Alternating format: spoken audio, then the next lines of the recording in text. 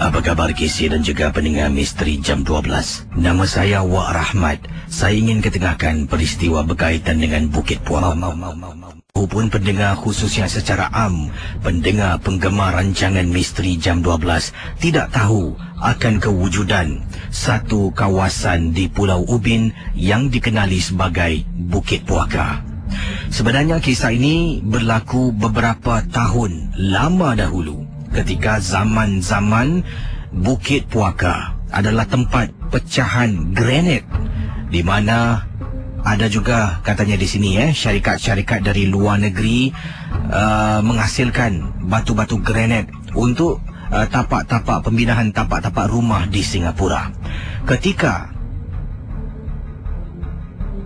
katanya di sini ketika kuari itu masih lagi wujud, masih lagi digunakan ada seorang pemiliknya, uh, seorang lelaki, warga negara iaitu dari barat lah, mempunyai seorang anak. Anak perempuannya berusia enam tahun.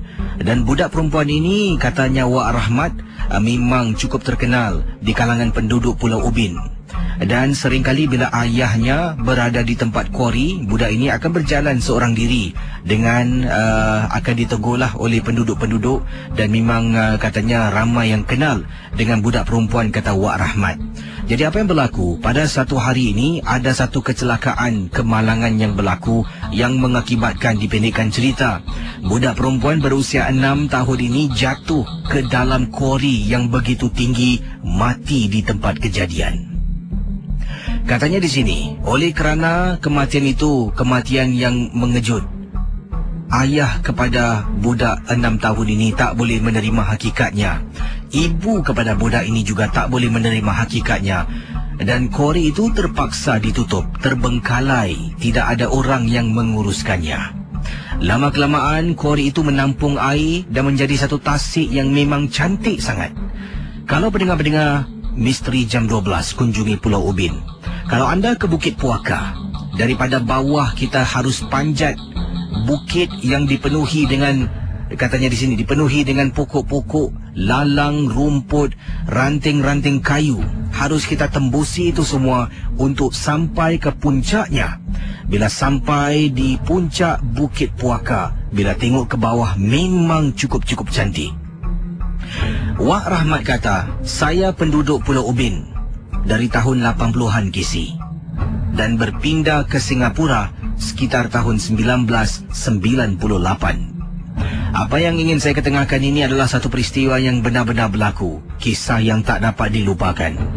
Rumah saya berdekatan dengan kawasan yang dikenali sebagai Kampung Nurdin sebelum saya berpindah. Kadang-kadang memang kisi, Bukit Puaka ini memang berhantu. Dikatakan oleh penduduk-penduduk termasuk saya yang pernah nampak kelibat anak kecil berlari masuk ke dalam hutan di kawasan Bukit Puaka yang dikenali di Pulau Ubin. Antaranya juga pernah saya waktu itu mungkin rezeki nasib saya lah. Sedang saya dengan anak saya berbasikal di waktu malam. Sebenarnya kami berdua mencari durian.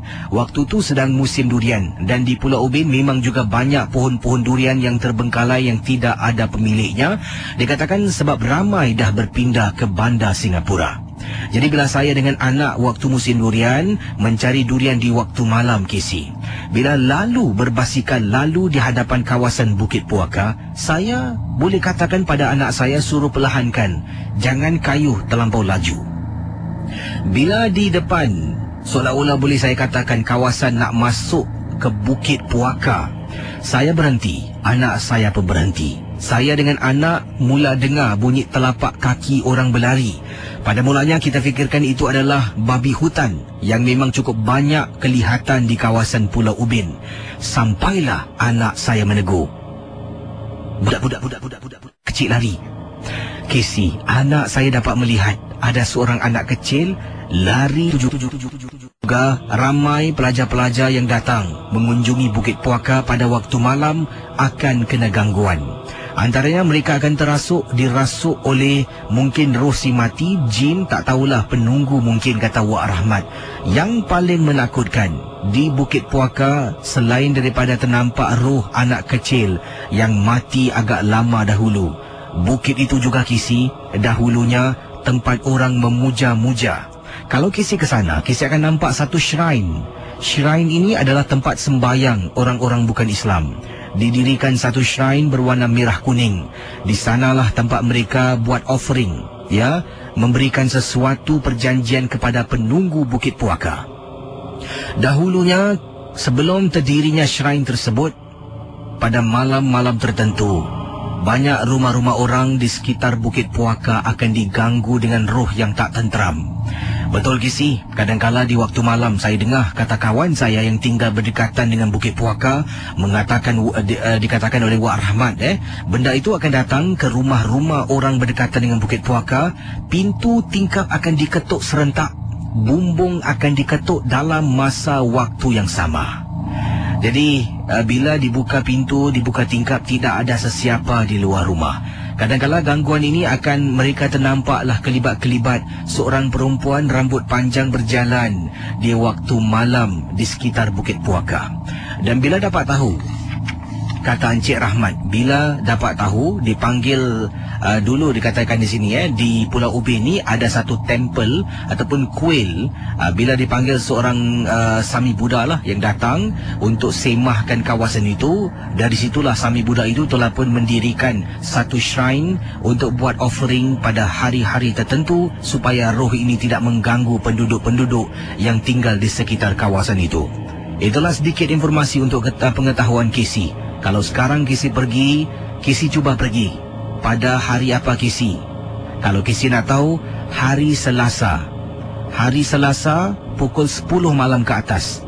Sebab budak yang dimaksudkan mati di tempat kejadian pada hari Selasa dan 10 pagi.